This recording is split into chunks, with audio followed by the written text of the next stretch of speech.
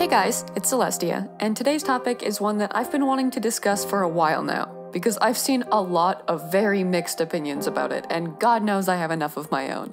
I mean, what don't I have unnecessarily loud opinions about, really? But this one, unlike my passionate stance on the right temperature of drinking water or the proper use of escalators, is probably relevant enough to make a whole video about, so I'm going to. Now, people being mad about artists drawing characters too sexily is not a new phenomenon by any means. The controversy surrounding art with too much titty is far from new, and the people that are mad about it have a wide, wide variety of reasons for that rage, ranging from, how dare you put a boob window in my good Christian sweater to, hey, how come female characters are drawn in bathing suits and their male counterparts have full suits of armor, which is effectively to say that those arguments also, consequently, vary quite severely in terms of how valid and reasonable they are. But while the majority of the people upset about it were, formerly, women wanting adequate equality in their representation in art, parents who thought Lola, the sexy fish from Shark Tale, was going to corrupt their children with her feminine wiles, and pretentious artists trying to devalue not safe for work or even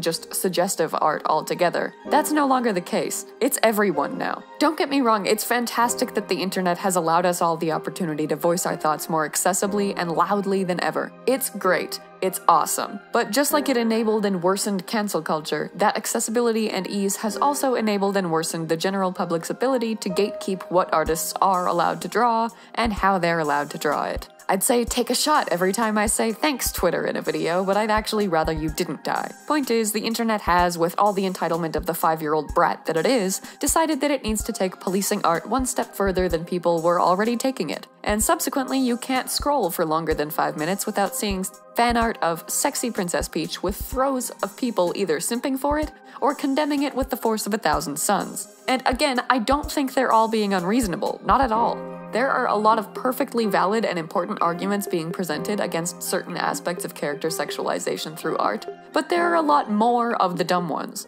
And even the good ones shouldn't give anyone the right to feel justified in shitting on people for drawing that art. But I'll get into that more in a minute here because there's a surprising amount of nuance that needs to be considered. Before I do though, I want to make one thing clear about the statement I just made. While I do believe that sexy art should have the right to exist regardless of the validity of the criticisms made against it, I am exclusively referring to art of adult characters. I think I've made my stance on sexualized art of underage characters abundantly clear in the past, and despite 4chan's best efforts, that hasn't changed in the slightest. Sexualizing adult characters through art is fine, even if there are some instances in which I will concede that the criticism of it is reasonable. But if those characters are kids, you know exactly where I stand on that, and we're not talking about it again. Anyway, when it comes to this topic, people who take issue with the sexy art generally fall into two categories people who have a problem with sexualized art in general, and people who have a problem with sexualized character design. Basically, someone getting mad at the not canon depiction of sexy Princess Peach versus someone getting mad at the unrealistic and unreasonable sexualization of Lara Croft's character design. And I'm gonna say this right now, I think the first group of people are dumb. That's just my opinion, obviously, but I can't think of one single justifiable reason to look at sexy fan art of an existing character and find that to be morally condemnable, or even worth criticizing, honestly. The only argument I'll give any credence to is that artists who draw that kind of work are selling out and pandering, because yeah, in some cases, that's true. But who cares? Sex sells, everyone knows that, and if a professional artist decides to draw corresponding art to make better money, who are you to shit on them for that? I'm so fucking tired of hearing people justify gatekeeping what art is real art and what isn't. And sexualized art is always one of the first to get thrown under the bus when it comes to that. An artist is not less good or valuable because they decide to use their skill to make money off of a profitable market, and they should not be demonized for cashing in on a good, easy way to pay their bills. No one can say what art is real art, and that's a topic I'm going to discuss in its own video soon. But it's just exhausting to see people like Sakimichan so consistently called talentless hacks for drawing sexy fan art. And even beyond that, like, if it's not even about the money and people are just bothered by artists drawing this sexy art in the first place, like, who are they hurting? How is it harming anyone for someone to draw Princess Peach with her boobs out? I can understand the concern with women being sexualized comparatively more in art than men, but that doesn't mean that the people creating that content should be blamed for that. It walks the exact same line that I discussed in my video about body type representation. Yes, people with larger body types receive less representation in art than thinner people, and yes, that is a problem that we should be aiming to fix. But the random individual artists out there just trying to draw characters they like or that are in their comfort zone should not be held responsible for that. Independent artists everywhere should not be tasked with providing representation for everyone like professionals should, at least in my opinion.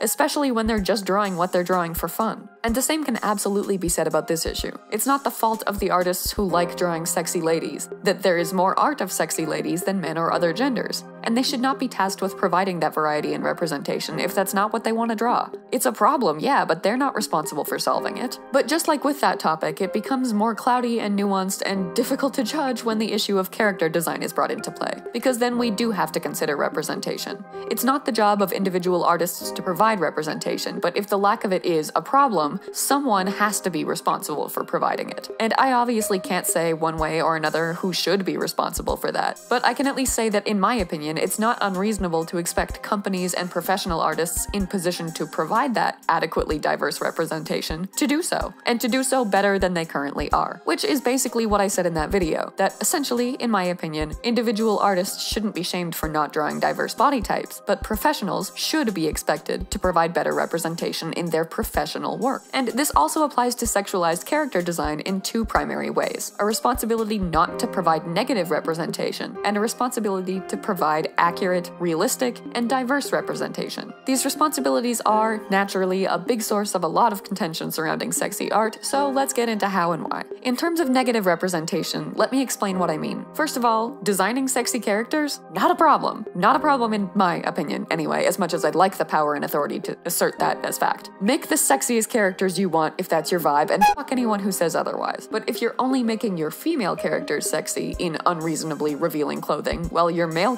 characters are wearing realistic full body armor and look scary or intimidating or even average or whatever else, that becomes a problem because it basically paints women as being hot first and characters second. Their identity is primarily defined by how hot they are if their gender is the only one that's being sexualized, with any other features or personality or individuality being rendered all but irrelevant, at least visually. It's not just female characters that fall victim to this either. Like, name one non binary character that's coded as hot or sexy. I'll wait. I'm joking. Please, please don't. I I'm sure some exist, and I don't want 80 comments calling me a dumbass, but the point is that there are not many. So while women and non binary people do get representation in character design, negative representation in it impacts both. Because if done wrong, it paints a picture of women as being valuable first and foremost as sex objects, and non binary people as only being recognizable and readable as non binary if they're completely sexless. Which is why I propose that we just make everyone sexy. I'm joking, again, but for real, I think equality is the main issue here. If you're designing a character to be sexy specifically because of their gender, I think that's absolutely worth criticizing. If you're designing a character to be sexy because you want them to be sexy, irrelevant to their gender, I don't see any problem with that. I think League of Legends is a good example of this, because Riot has received a lot of very warranted scrutiny for this issue over the years, but there are still some examples of things they've done right in this capacity too. So let's look at Fiora and Garen. Both from the same region with the same fashion, both melee champions, both fight with swords, albeit very different types of swords and subsequently swordsmanship, but I think it's more than than clear enough by looking at them that Fiora, by way of simply being a woman, was designed to be vastly more sexualized than Garen. That, in my opinion, is an example of negative representation resulting from sexualized character design. The same could be said of a comparison of Akali and Zed, both assassins from the same region with the same fashion, but Akali is wearing nothing. Or comparing Miss Fortune to Gangplank. Same region, both pirates, but one's wearing something that could absolutely never be expected to support one single boob. And guess their gender. There are also examples of what I mean in terms of fairly sexy. Look at Taric, or Varus, or Viego. If there were more male characters like them that were just as unreasonably sexy as their female counterparts, I think their representation in the game would be a lot more balanced. Not that Riot Games is particularly familiar with the concept of balance. I just wish characters could be designed as sexy because they're supposed to be sexy, because that's a part of their identity and not a result of their gender. Another good example would be Zero and Lorelei from Borderlands. They're both non-binary and they're portrayed completely differently. Zero is wearing full body armor, and Lorelei is clearly designed with an emphasis emphasis on being hot as hell. It is not impossible to sexualize characters regardless of their gender, and I think Borderlands did a great job with that. Furthermore, on the topic of negative representation resulting from over sexualization in character design, something that I feel isn't discussed enough is what drawing a character as sexy or as deliberately not sexy, contrarily, is intended to portray. What I mean by this is that a lot of the time, even when gender isn't a factor, characters who are designed to be hot are defined by being hot. If they're drawn as sexy, they're taken less seriously, they're less intelligent, they're less formidable, they're more shallow, they're vapid, etc. If they're drawn as ugly, formal, conservative, covered up, unprovocative, and so on, they're taken more seriously and seen as more intelligent, more no nonsense, and so on. Like, fuck, give me more Olivier Armstrongs. Hot as hell, intense, intimidating, intelligent, could absolutely step on me, career oriented. My point is that these things should not be mutually exclusive. A character shouldn't be made less sexy to be taken more seriously, and they shouldn't be seen as less serious or intelligent because they are sexy. Let people be hot and smart, or dumb and not conventionally attractive. What's so hard about that? I don't know. I just.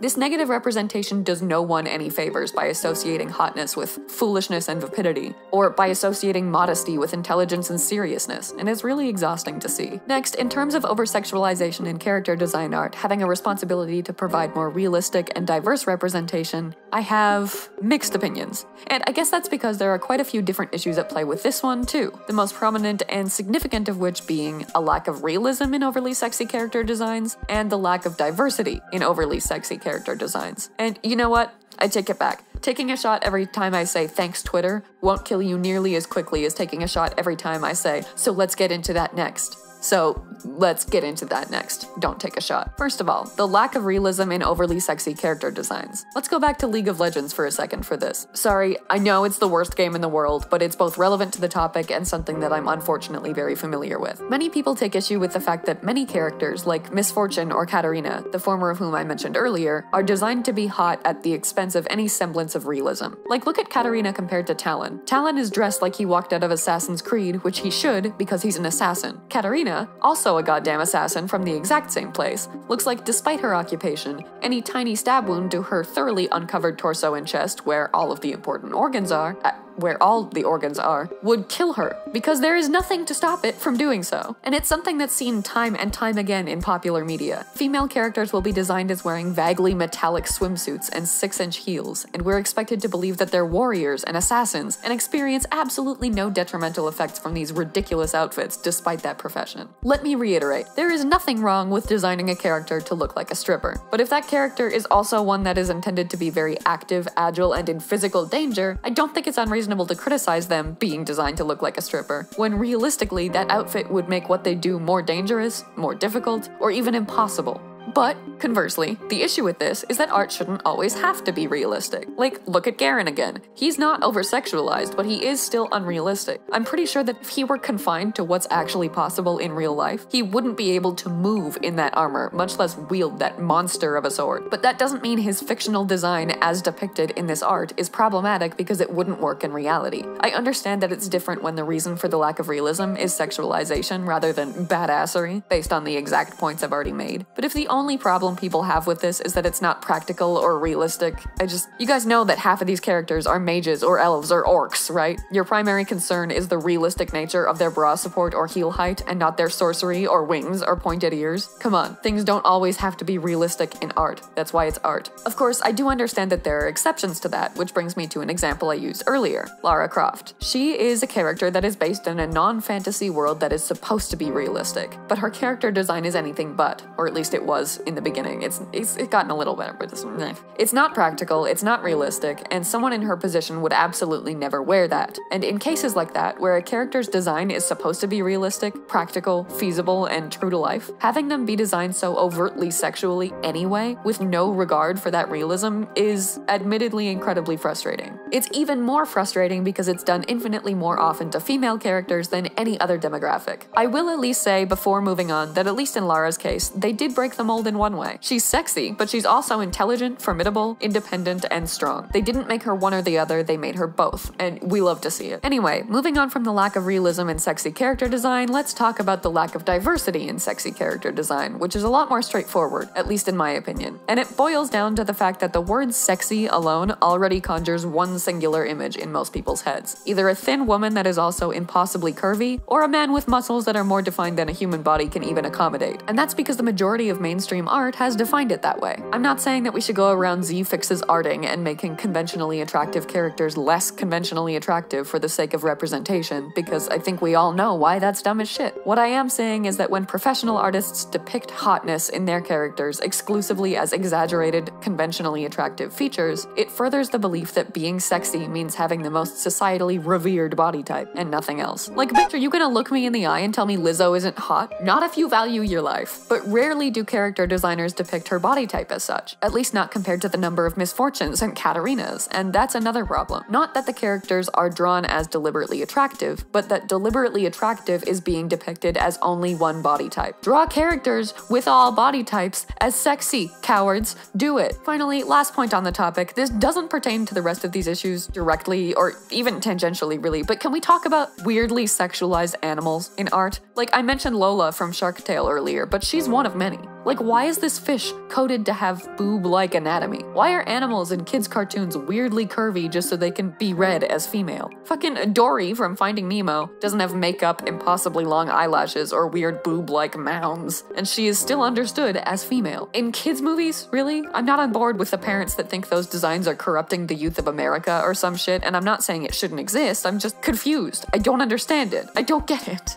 It just seems so low effort and borderline uncomfortable. But that's just me, I don't know. We've long since established that I'm unnecessarily passionate about irrelevant opinions by now. So, in conclusion, is sexy art bad? No, sexy art, in my correct opinion, is not bad. Draw hot Princess Peach. Better yet, draw hot Rosalina. No real reason, she's just my favorite. Just maybe try to draw a wider range of body types as sexy, don't be so sexist about it, and if you're a professional, at least try to make some kind of effort to make people equal opportunity sexy. And perhaps consider not making all sexy characters shallow or all smart or strong characters modest and conservative. But either way, it's not okay to police what art is and isn't acceptable just because you personally take issue with it. So long as the characters that are being drawn hot are adults, you not liking it, regardless of why you don't like it, doesn't make it fine to harass or condemn the people responsible for drawing them that way. But what do you guys think? These are all just my opinions, and I'm sure yours probably differ greatly, so I'd love to hear them. Anyway, thank you for watching, and special thanks as always to channel members Cafe Soleil, Joseph Solomon, and Unknown Code, as well as patrons Batman, Kyle Lowe,